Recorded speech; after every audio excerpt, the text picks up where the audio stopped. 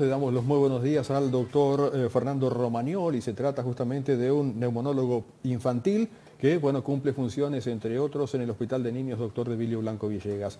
Gracias por hablar con la radio, con el canal del ECO. Buen día, ¿cómo le va? Buenos días, ¿cómo están ustedes?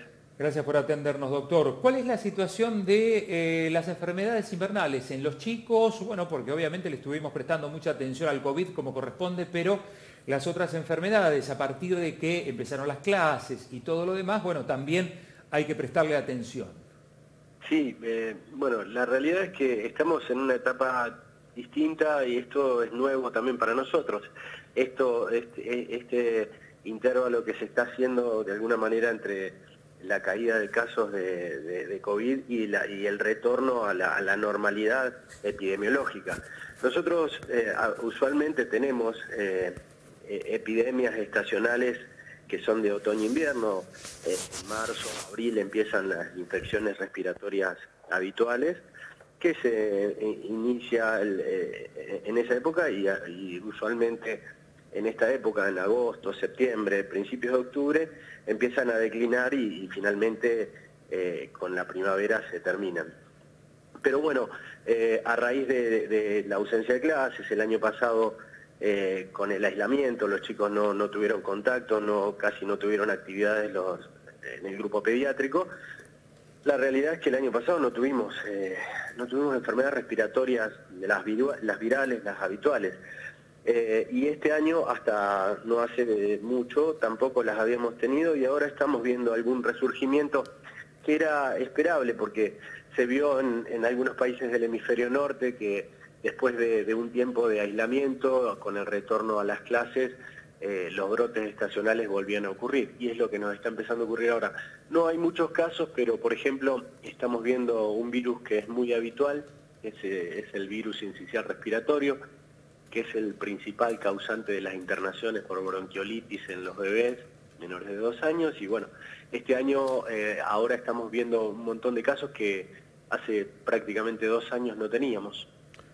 Correcto. Y esto, bueno, eh, de alguna forma en el último tiempo no ha habido esta reducción de casos que hace referencia en líneas generales, tiene también que ver con que establecimientos educativos tienen más medidas de higiene, más medidas sanitarias, como por ejemplo eh, el tema de ventilación, cosas por el estilo? Sí, sin dudas eso es muy importante. La mayoría de los virus en la edad pediátrica, la mayoría de las infecciones en la edad pediátrica son por virus, con los esquemas muy completos de vacunación que tenemos. Eh, afortunadamente las enfermedades más graves casi han desaparecido en esta edad y, las infecciones son virales. Y al igual que, con la COVID, las infecciones son de transmisión directa, eh, por estornudos, por contacto directo, y el aislamiento o la distancia, eh, las burbujas en las escuelas, el uso de barbijos, la higiene de manos, el alcohol, los controles al ingreso de la escuela, todo eso también hacen que, nos cuiden de no solo del SARS, sino también de otras infecciones respiratorias que se transmiten más o menos de la misma manera, ¿no? Fernando, eh, ¿cómo está el tema de internación de, los chiquitos en el hospital de niños? Eh, eh, afortunadamente estamos bien. No hay muchas camas ocupadas. Tenemos sí, tuvimos un brote de, bronquiolitis por este virus, algunos, algunas crisis asmáticas o pacientes que tienen enfermedad respiratoria y muchas veces son gatilladas por infecciones respiratorias y como siempre que hay un surgimiento o un recrudecimiento de las infecciones respiratorias, siempre hay algunas crisis asmáticas eh, que, se ponen bien de manifiesto, pero la verdad es que la ocupación de camas en la cuestión respiratoria es baja y es raro también, porque bueno, no estamos acostumbrados en esta época a, que, existan brotes de bronquiolitis, por ejemplo, por el virus incisional. El año pasado tuvimos algo mm, bastante similar con el virus de la gripe, que junto con ahora el COVID, eh, son las únicas infecciones que tienen una prevención mediante vacuna. El año pasado vimos eh, casos de gripe que usualmente son de junio, julio, las llegamos a tener hasta noviembre, diciembre incluso. Correcto. Para la primavera, ¿qué es esperable? Y lo, que es esperable es la disminución de casos, porque muchas de estas infecciones tienen que ver con el contacto estrecho, ¿no?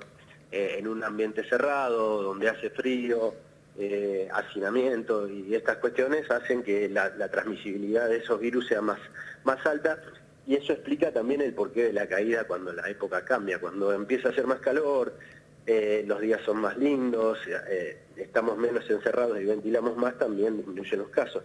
Entonces es de esperar, sería de esperar que, que, no, que lo que hayamos visto no, se, no, no aumente mucho más, que se quede por lo menos en estos niveles, pero también es cierto que estamos viendo más casos respiratorios y que tal vez tengamos que eh, atender estos casos durante un mes más.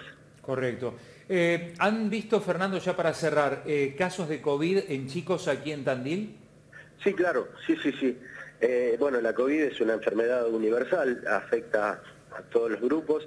Es cierto que es una enfermedad que provoca muchísimas más complicaciones en los adultos y sobre todo en los adultos mayores, pero hemos tenido eh, casos de, COVID en pediatría.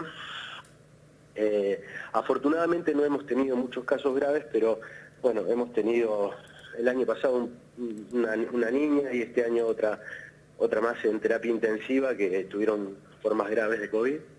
Eh, afortunadamente no hemos contado con ninguna, ningún fallecimiento por COVID en pediatría, pero sí, sí, hemos tenido la realidad es que en general en pediatría se cursa como una infección banal, como un resfrío, los síntomas son menores, eh, los chicos están eh, eh, en líneas generales muy, mucho menos afectados por esta enfermedad, pero sí hemos tenido.